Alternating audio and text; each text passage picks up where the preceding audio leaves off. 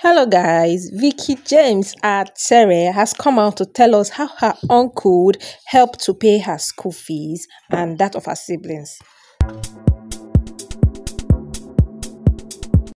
Hello my wonderful beautiful people, you're welcome to Anastasia Media. So guys, Veekee James Atere recently visited her hometown in Akwa Ibom State, Nigeria although guys she has done her wedding thanksgiving in lagos state nigeria. So recently she went down to her state of origin which is Akwa Ibom, to bid her thanksgiving in her family church where her uncle is also a pastor. She recounted how her uncle paid her school fees when they lost their dad, how their uncle stood out for them. And if you know very well, no be every uncle na be better uncle, but Veekee James own seem to be a different one.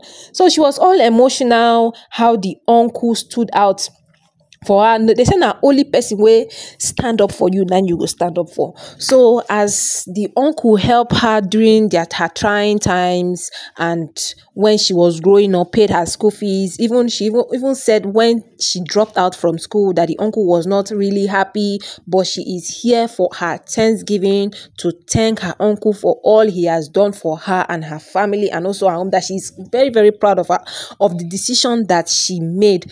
So guys i will allow you people to listen to the full video and don't forget to drop your opinion about this video.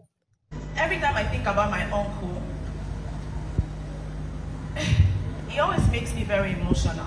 When we were growing up, it wasn't easy, but he was always there. He supported us all through. My uncle is not a very mushy person, but I remember that every time I come out well in school, he would hold me and he would kiss me. Uncle, I want to say thank you. If never told you before.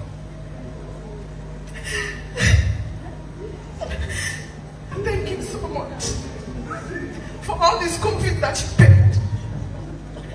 And I mean that from the bottom of my heart. Thank you so much. When I dropped out of school, the person that was the most pained was my uncle. He did not talk to me for, I think, years because of that. But I thank God today that I, I think I've been able to make him proud. I'm who I am today because of God and the people in my life. And most especially my uncle Eko. And then I want to say that God will bless you. Amen.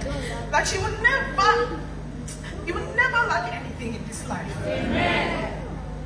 You will know nothing but joy. I say that God will bless you. Amen. Don't take all your help and your love for granted.